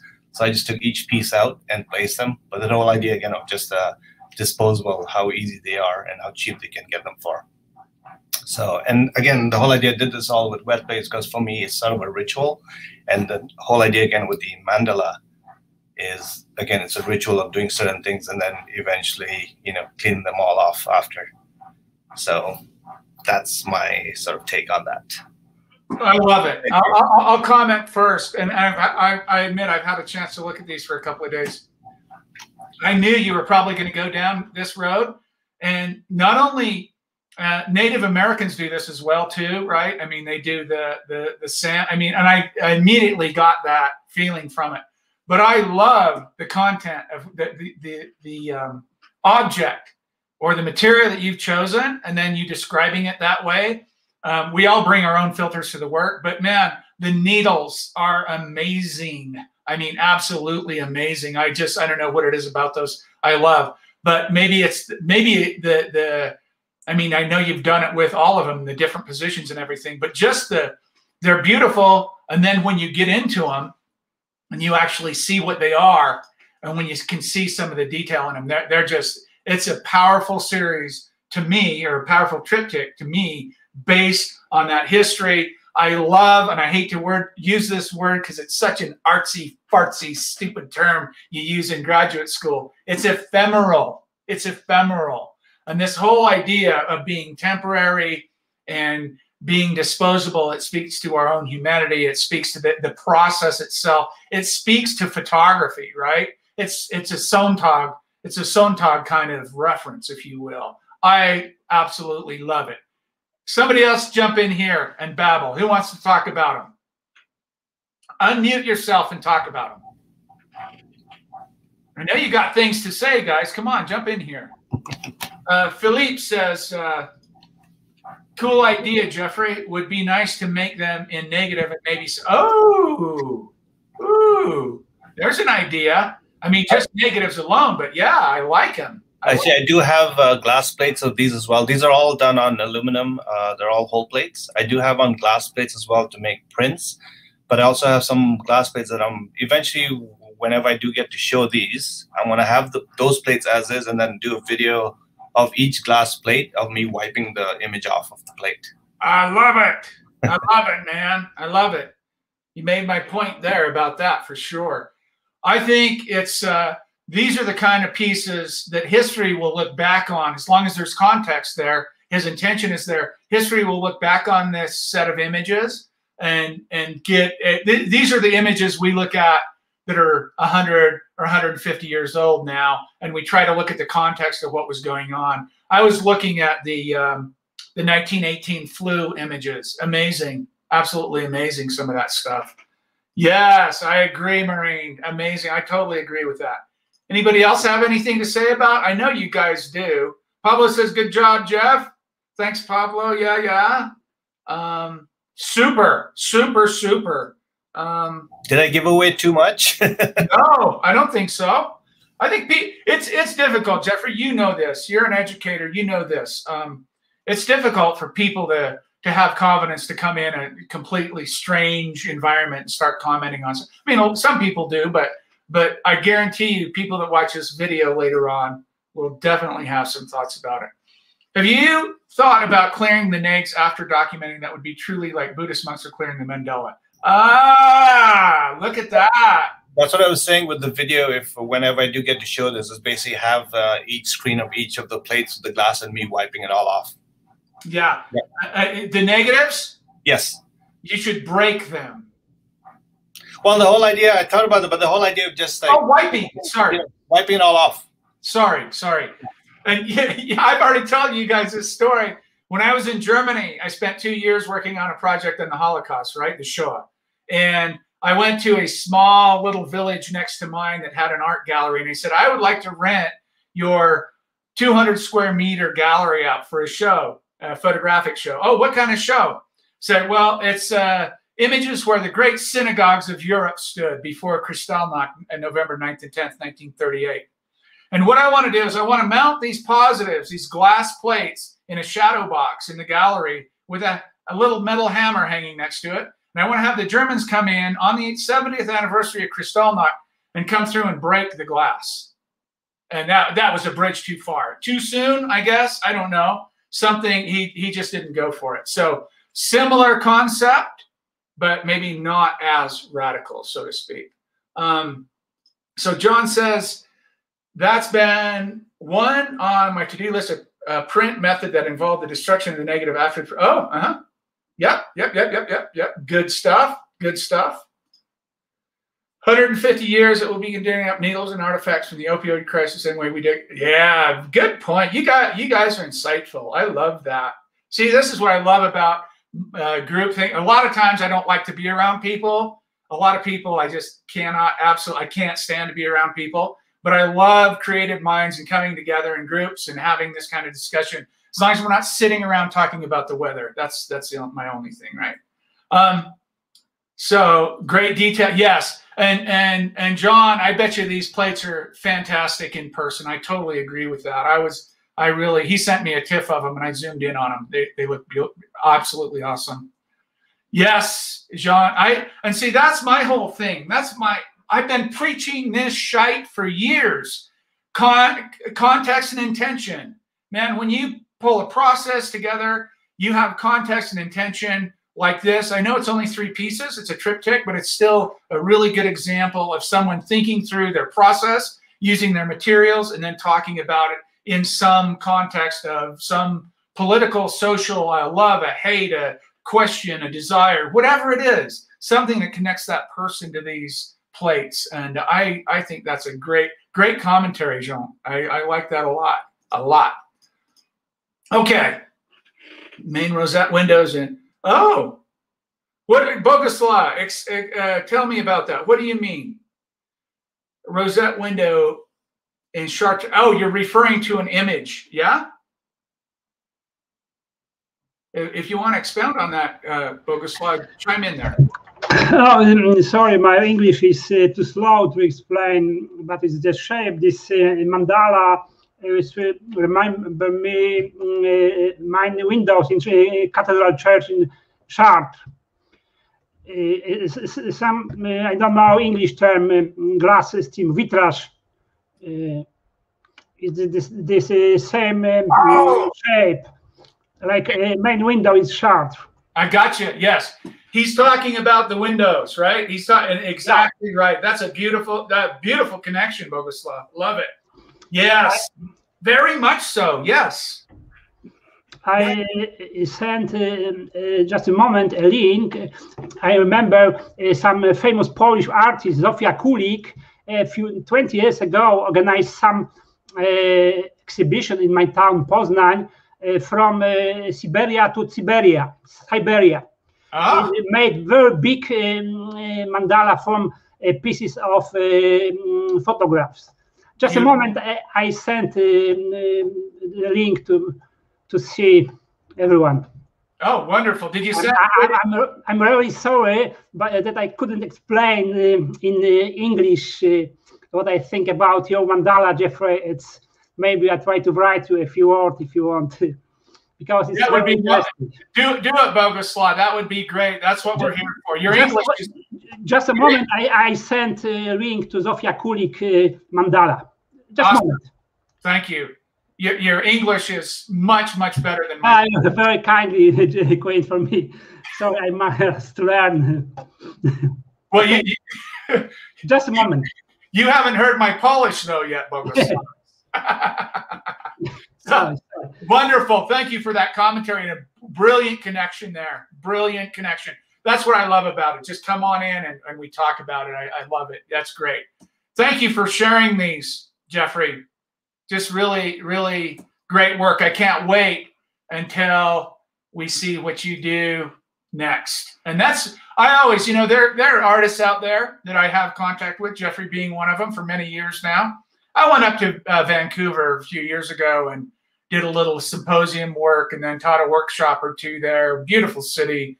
Love Vancouver. It's wonderful. I wish I could afford to live there, but not really. I'm not moving there. I love the mountains here in Colorado, but beautiful city. But um, Geoffrey's one of those artists that I connect with. Not only is he, is he just a wonderful human being, a, a really a mensch, if you will, he is a uh, talented guy too. Uh, very, uh, you know, very humble and, and uh, unlike me.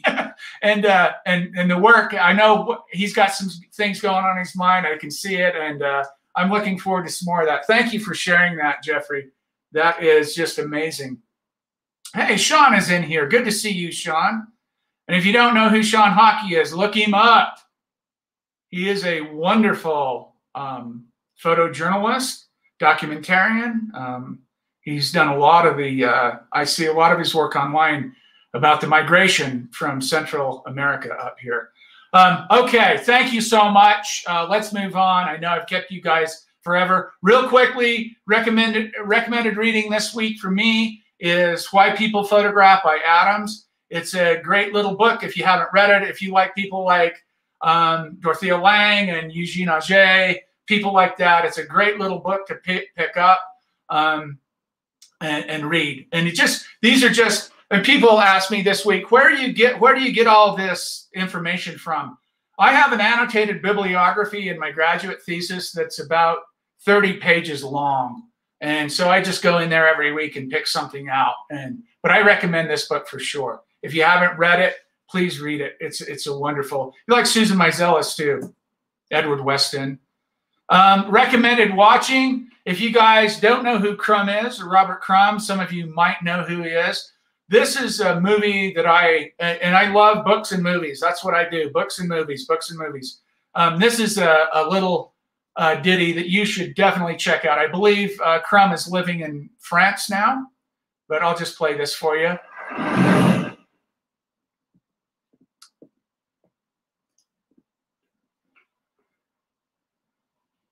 When I listen to old music, was one of the few times I actually have a kind of a love for humanity.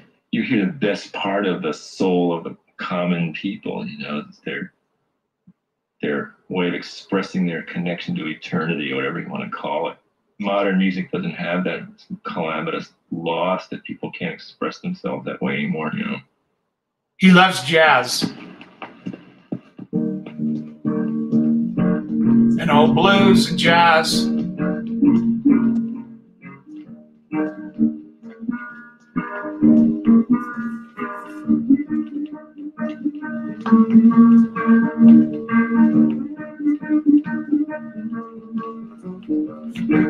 You'll recognize some of his artwork here. The last time where I get my day. Now the last time I get my day. I went to the depot. I looked up at the sun. Right from train don't come. Oh, please don't walk me. My mama told me the people die. There's Mr. Natural.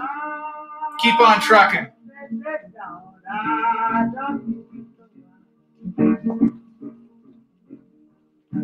When you see me coming. And if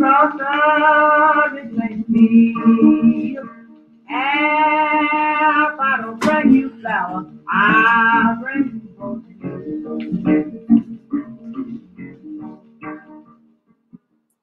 So if you haven't seen that, I definitely recommend you watching that. It's uh it's revealing about humanity, and human nature, and you might connect with it. Jazz, can I have you come in, please? I will have you unmute yourself. I just want to do a quick introduction. I, I want to let her talk about this, her work, and what she does. And you guys are going to find this fascinating, I think. Um, and again, I, I, I, met her, I don't know what it was, a couple of years ago, three years ago, maybe up at CU Boulder. You were in a graduate program there. And uh, I'm going to let her talk about her work here. Let's see if I can. Can I do solo layout? Um, or I, yeah, let me see. Um, cool. Uh, no? where, where, what am I looking for here? I, I'll, I'll let you go. Sorry, you go ahead, Jazz. Okay, I have some dogs wrestling in the background, so apologies about the noise. Um, thanks for um, including me in this like shout out. That's pretty nice of you. Um, like as Quinn said, I, I met him. Um, he was doing some demos and workshops at CU Boulder, and I was really fascinated about the way that he was able to um, articulate the photochemistry of uh, wet plate collodion. And so I was funded a grant by the University of Colorado to go to Ghana and acquire one gram of raw gold from the Obuasi mine, which is the same mine that initiated the Atlantic slave trade in the 1400s. And so it was one of the first gold mines that opened up. And from that gold solution, I was able to um, work with a chemist, and she turned that that gold into a light sensitive photochemistry, which is uh, originally called the chrysotype, which was or which was like created by John Herschel, Sir John Herschel, and it it translates into um, the gold colloidal. Um, but the difference is like the fact that we make ours also from scratch, and it's um, made with like authentic gold from an actual gold mine instead of it being like chemistry and um, creating like the creating the metals, if you will, from like actual chemist like chemicals. Um, so from that, um, I like actually here I actually brought. okay, so this is like the original kind of book thing that I found. Um, but I'll just show you a couple of things. So uh, I am very uh, nerdy.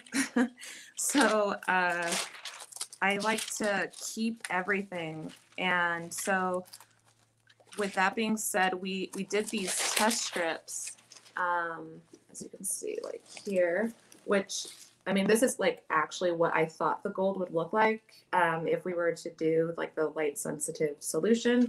And um, what's really amazing is with humidity, you're able to alter and adjust the color tones. Um, so it becomes like this, I don't even know, mysterious um, experiment, if you will, of like trying to figure out what you're going to be making. Um, we also found out like there was an article that was written by Michael Ware. He's a, an English chemist, and um, and that's spelled W A R E. So if you wanted to like read some of his his articles, but he essentially uh, he he found some of the chemistry or some of the the notes that John Herschel had left over, and then in 1995 he then kind of rearranged it so that it would be more um, legible, if you will, for people um, doing photochemistry now. And then um, so in 2019, that's when I uh, worked with the chemist, and that's when we kind of like started to create that photographic chemistry. Um, and then from that, um, you're you're actually able to achieve from a black and white negative if you were to do the correct humidity you would be able to get um, a color print from the black and white negative so you you would have to get your your yellows and your reds and your blues and it, it would be like essentially like a combination print but it would be making uh, a, like the combination print with just pure gold um, and so like one of the images that uh, Quinn showed was uh, an image of cowrie shells. And so cowrie shells were used as a form of currency during the Atlantic slave trade. And so I took the gold and, and printed the currency because it was like this uh, monetary system to obtain people for their labor. And like the the creation of this project or like the creation of the print is actually very very tedious and it, it requires a lot of labor. And i actually wasn't even able to go to the gold mine because there was um, a woman who was from canada and she was uh, actually two women from canada were kidnapped but they were found late, like later but i had a my pastor went on on my behalf so then i turned it into like this like book so that people also have like this um correlation with like the project because I can't give this away because it's just so valuable and it's just like it's all pure gold and it probably would be like something that my children, my future children would inherit. Um, so I have like an open edition book that I'm going to launch in July. Um, so it, it pretty much shows like here's like the image of like the gold. So it didn't actually take very much, but it, it, it made a lot and I still have solution left over. So um, the thing with gold printing is very similar to platinum and palladium printing, whereas like you can't you can't have silver um, interact with it because it'll ruin all of your silver processes um, because of like the I don't know Quinn you can help me with this like there's some sort of like uh, interaction and like it, it, I don't know I'm not a photochemist or I, I'm not a chemist I'm not just you know photographer No, you're, but, you're the, um, the amalgam would not suffice. You're right about that. Yes. correct. Thank you. Yeah, and um, then yeah, so then I uh, also have like this limited edition version where people could also have like a gonotype themselves. Um, and and it's also signed by the chemist who helped me. Her name is Marissa Martinez, and she's about to graduate from CU Boulder. She works at NREL, which is like the natural resources of, uh, yeah, she works as a natural resources uh, laboratory in Golden with her partner, and um, we're working on another chemical project, but um, it will be not as much photograph, but more so like social activism. So what we'll be doing is like going to Ghana and extracting battery waste from the earth that most of the Americas send to Africa to kind of just go and disintegrate. And it seeps into the, the earth and people are now getting lead poisoning and people are now getting, uh, they're finding like these like, uh, they're finding actual particles of lead and copper and um, a lot of toxic um, chemistry that is in like the fish and the water and in people's hair follicles. So it, it's becoming like this way that we're trying to vocalize the injustices that are occurring in Africa. My mom is from West Africa. She's from Ghana and my dad was in the Peace Corps and that's how he met my mom. And so I have like this um, natural drive to help my people. And that's kind of what the Gonotype was about. That's beautiful. And is your your PhD chemist friend? What's her name? Melissa? Did you say? Marissa. Yeah. Marissa. Marissa. Um, did I talk to her once? Yeah, we came to your house and had lunch with your wife, and that's duh. this is Man, I, must, I must have been, I must have been super drunk or something at the time. No, I, I don't. No, no. I'm teasing. I think I had a conversation. I want to get her on one of my shows. Mm-hmm. And I want to talk some photochemistry with her. You think you could get that? Not. I, I would just love. I love this idea. I love what you've done here. And she, she actually, uh, Jazz actually gifted me this and this beautiful little. And I have the, I have the shell as well too. But uh, she gave me a gonotype here and signed. And I love anytime people come in and and and you know, of course, I photographed her as well too, right? I mean, that's what uh, um, that's what we we did up at, up at Boulder. That's how we met. Can you talk just a little bit about um, your vitiligo? How do you say it? Vitiligo? Vitiligo. Vitiligo. Can you talk a little bit about that and how how this all forms? I love the Ghana history. I love your connection, your genetic memory, your genetic trauma that's all right in my bailiwick, right in my in my house, right, so to speak. And could you talk a little bit about um, uh, uh, that, just uh, so people know, so people aren't wondering or what you know what's going on? Yeah. So the so my I, I was actually initially interested in Van Dyke Browns, which are also a silver printing process, and then I got introduced into platinum and palladium, which is uh, you know platinum and palladium printing process it's it's more stable than like the silver so it doesn't alter as you fix it and then it dries um, the same thing with the gold but the the thing is like i was really interested in how similar that the the photographic solution or the photographic process was um, in relation to the treatment process that doctors have kind of created for vitiligans. And oh, so wow.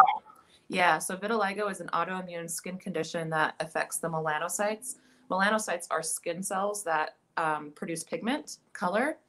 And so, how essentially how the doctors have created this like this treatment is like you go into the the office or the lab or the, the hospital and they have this light generated UV light since it's synthetic as well. It's similar to like the light box that that Quinn was talking about, and then they alter the numbers and they increase the dosage, if you will, and they essentially they they, they zap your skin with this synthetic sunlight that's both UVA and B. So it's meant to re-stimulate the melanocytes and repigment the person who has lost pigment on their skin.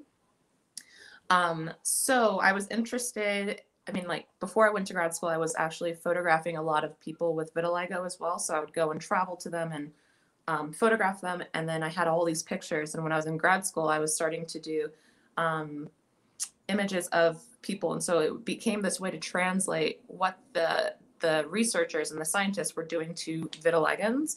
Um, so essentially, like the piece of paper represents the body, and then the graphite um, is marked for the, the solution, and that's that's where color is allowed allotted. And then um, I would expose it to the sunlight, and then it would go through this process of washing, which would be removing the negative and removing the toxins, and then it becomes this positive image that creates this beautiful body of work of somebody who is also a beautiful body of work. So it, it kind of contradicts like the fact that the the researchers and scientists are wanting us to re-stimulate our melanocytes and be like normal, like the normal, like the rest of the like, society. But um, it becomes like this peaceful protest um, apart from it. And um, from that project, I kind of created a nonprofit for vitiligens as well. So I, um, uh, yeah, so I wanted to do art therapy and art workshops and, you know, like emotional wellness and um, I've been working with like a lot of people around the world about creating this nonprofit. So it's become more of a voice from like the vitiligo standpoint because like a vitiligo is somebody who lives with the the condition vitiligo.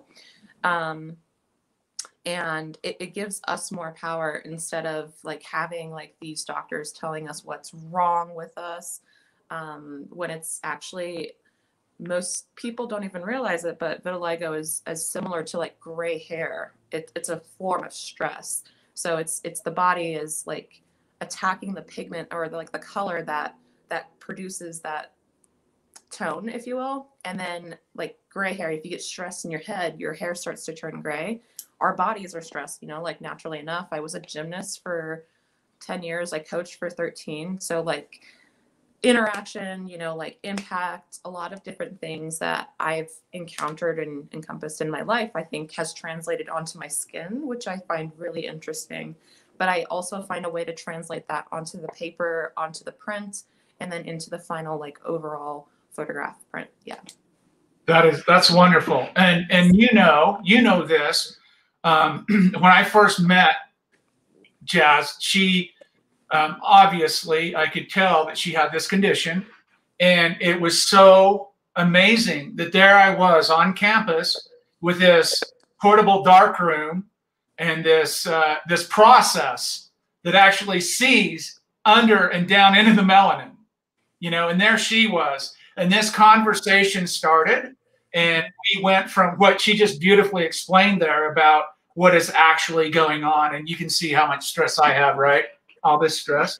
Um, she explained beautifully what um, what happens with that, with light, with pigment, with color, and now we're taking this process that can't see anything but that, and we made that portrait. That's that's a portrait of her that we that I put up front here, and I was I just thought about that the other day, and I I had these uh, unpacked and and her little shell that I have in the box there, and I thought, man, I wonder if I can get her on this Saturday. So I yeah. this is great. This is great Thank because you. at the end of the day, um, that's what we want to do. We want to have this diversity. And although this isn't wet collodion, and who, who knows, maybe one day she'll she'll come up to the mountain and we'll we'll go through the process, right? Ooh, I'm totally down. I I am so excited because I mean, I want other people to be able to do this too because it's so amazing and you can actually feel the difference between like an uncoated piece of paper and like the actual coated piece of paper That's is cool. on the table and it's like you hear like this thunk, like That's so cool. yeah. Feel the metal. Yeah, I, I, I, I, I, talk about this, and I probably did it at my lecture up there. I'm sure I talk about that we've lost this relationship with holding a photograph. We don't. We we hold a metal plate in our hands or a glass plate in our hand versus doing this on a phone. Right? There's a whole loss of something you know i don't want to use my french again but there's there's something there that's missing you know? Mm-hmm. and, and, you're so right about that. Um, craig asked when will this book be available for purchase? Um, it'll be available in july. In july? Um, yeah maybe, i only have maybe you can drop back in on a saturday after it's published and we'll just give you a little plug there. Heck yeah i'm down. Yeah um, definitely. what i wanted to say is like when you photographed me in boulder in that image that you shared I was actually able to see more spots that I didn't realize that I had because of like the the sun exposure as well as like the the in-depthness like that that you were explaining before of like what um, Absolutely. tattoos and the layers of skin. Yeah, it's going, it's going, it's going beyond the surface and going down. I, that's what I love. I use that metaphor a lot with this process because that's what it does, right? It, it, it goes beyond the surface. And Linda says, she, you know, she, so yeah, you need you need to come back on I and, will. and give us a, a little bit of a because we got we got great people in here. All of them totally appreciate and and uh, and respect the idea of anything to do with photography and projects are so wonderful to have going because it inspires people. It inspires people to find out what they want to do and what they want to work in. So we greatly appreciate you coming on and uh, spending some time with us. And I appreciate you uh, hanging out so much uh, for the whole, uh, most of the whole thing. But um, I would love to have you come back after your book's out and you can plug that. And then I would love, and this is, I would love to get Melissa, right? Melissa? Marissa. Yeah. Marissa. God, I know her name, Marissa. I would love to get Marissa on as a guest, and I just want to spend 10 or 15 minutes, and I probably had this conversation with her at the house, and I don't remember. Um, we used to have a lot of people over to our house, so I, I you know, but um, I want to have her come on and talk about silver fulminates and ether and explosions and collodion. I want to I want to kind of do a Bill Jay Dangers in the Darkroom modern style and try to dispel some of these myths that people are out there floating around talking about doing some crazy stuff with this chemistry. But thank you so much, Jess. Thank you. Greatly appreciate. Yes, absolutely. Appreciate you. Absolutely. Thank you so much. It's wonderful. So I uh, I don't have uh, let's see, let me do this here. I don't have, let's see, let me make sure I don't have anything um, lurking in the background here that I, I haven't shared yet. I don't think I do. I think I, I just have my last screen there. Uh, yeah, and here's her portrait that we did up there. I love her big her hoop earrings and her dark glasses though. I have that's a beautiful portrait too though. I mean, um, Like, The, Oh. the glasses I was wearing were actually like reading glasses too. So like the UV like filter that I have on my glasses, so it reflected. I was showing this image to someone and I said, Isn't that ironic? Vitiligo and UV and melanin, and then we have these glasses in clothing. Just such a just a wonderful topic to breach and talk about that stuff. I, that's what I love about this process. It's got so much. I love I love your involvement with material. I love your involvement with genetics and trauma and, and, and social justice. I think all art should be socially active really i mean it should it, it should have some call to action or at least throw a little stone in your shoe and make you think about things and i love that that's what you do with this so i i just i just really appreciate it. oh and by the way just if you missed it there's her instagram and her photographs by jazz.com is her website so go check her out and and and yeah we appreciate her time and that's it guys i uh that's all i have for today I know we went over a long time. I know it's supposed to be an hour. We're at two hours, but I appreciate you guys hanging with me today. I hope you learned something. And if you didn't learn anything, I hope you at least enjoyed it. And I enjoy your company. I thank you for spending your time with me. Thank you, everyone. Stay safe, stay healthy, stay happy, and I'll see you next Saturday and we'll do something interesting. Bye bye. Ciao, ciao. Have a great weekend. Thank you so much.